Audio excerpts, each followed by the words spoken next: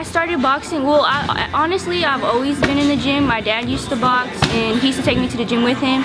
But I didn't start training until I was like six, and then I started competing when I was 11. When my dad would take me to the gym, I remember um, there was a bag, and I, I would never like be allowed to go like by the ring or like where everybody was training, but there was like a bag on the other side, and I just hit that, and then yeah, so basically, yeah, I just got into it like that. Um, I would take her with me. She was probably like two, three years old. And then I trained at the boxing gym. And then um, I was trying to juggle work and school and time, you know, time with Daisy when she was like two, three years old. So kind of brought her to the gym and the gym was kind of like her babysitter as the time I would go to train. My dad gave it to me when I was little. I think he was like, okay, so now that you started boxing, you know, you every every boxer has a nickname, so let's pick one out for you. And then he was just like, yeah, um, how's Dynamite sound? And I was like, yeah, I like that. You know, Dynamite, it's explosive. It just, yeah, it's explosive. Um, honestly, I feel like I didn't, I realized I was good when I won my first national. So I was 13, yeah, when I was 13. That's when I felt like, okay, like I'm I'm really in this, I'm really doing this. That's when I realized I was good at, really good at it. Um, I'm a six-time national champ. I'm a three-time junior Olympic champ.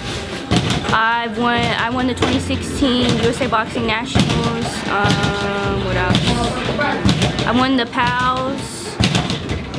Yeah.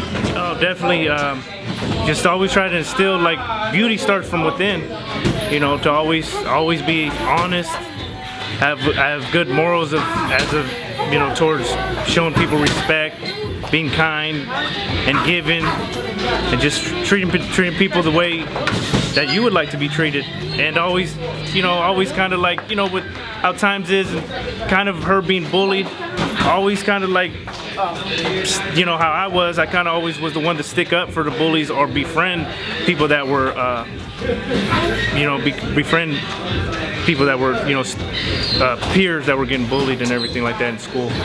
Right now, well, next week, I'm gonna start a sociology class, and yeah, that's. And outside of boxing, I have my education. I do volunteer work. Yeah, I'm on my way to college too. Um, I want to become a nurse. I want, yeah, I want to go to attend a CSU, and then after CSU, I want to become a nurse. Oh, I'm very, very proud of Daisy. She just, man, everything. Um, me and her mom are very proud of her. Everything, just her determination, her, her, just her willpower, her strength that she has is just, she's, you know, she's she's not afraid to be different and um, kind of like go against the grain what peers may be doing in school or in society. I would say people would probably say I've accomplished a lot, that um, I want people to like now I want people to already know my name as I walk into a gym like they'll be like oh yeah I know that's Daisy like stuff like that